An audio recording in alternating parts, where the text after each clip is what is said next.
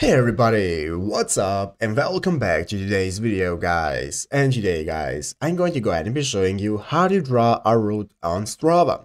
This is a very simple thing to do guys, so make sure to watch this quick and easy video till the very end and follow my steps correctly so you can make sure this works the same for you and that you can do this yourself.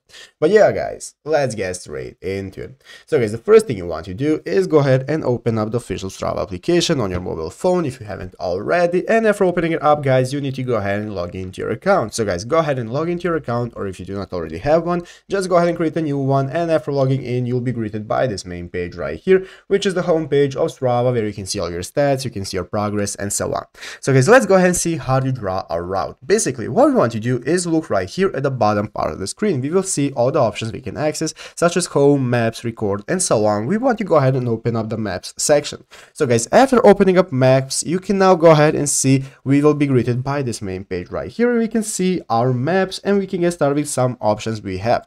Basically, guys, if we want to draw a route, what we have to do is just go ahead and click on the create route button right here. Click on create route and now guys after clicking create route it's going to open up a new menu where you can get started with driving. But sadly guys you will need premium for that. So if you do not have premium like me you will not be able to access it but you can go ahead and start the free trial to test it out if you want or just go ahead and subscribe for the premium option and after having premium you can get started drawing out your route that you'll be able to use for your workouts.